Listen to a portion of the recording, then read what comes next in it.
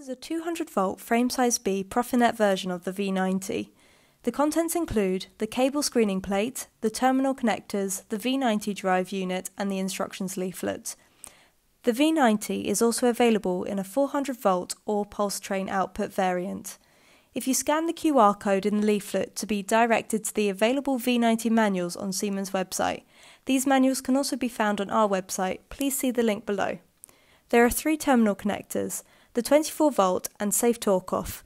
This provides 24 volts to the drive unit, and the STO inputs are used to activate the safe torque off function in the drive. A jumper is included to disable this function by default. The supply line in this is where the mains voltage is connected. The motor line out and external braking resistor.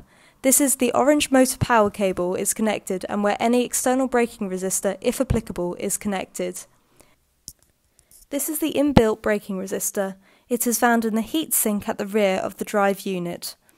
The drive comes equipped with two Profinet ports on top of the unit. These two ports are a single interface and therefore act as a switch. There are two status LEDs on front of the unit. The RDY, or ready LED, indicates that the motor is enabled. The COM LED indicates the status of the Profinet comms. The LED displays the drive status information and fault codes. The operator buttons in combination with the LED display can be used to commission the drive, set parameters and clear faults. This is the port for the mini USB and micro SD cards.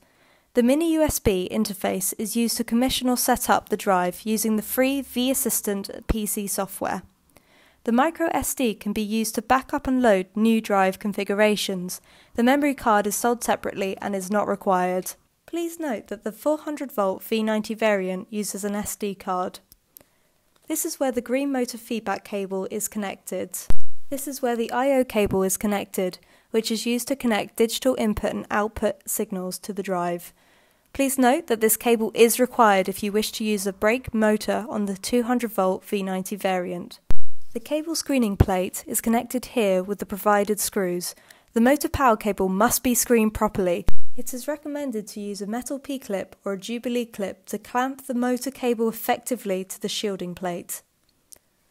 Use the provided screws to mount the drive.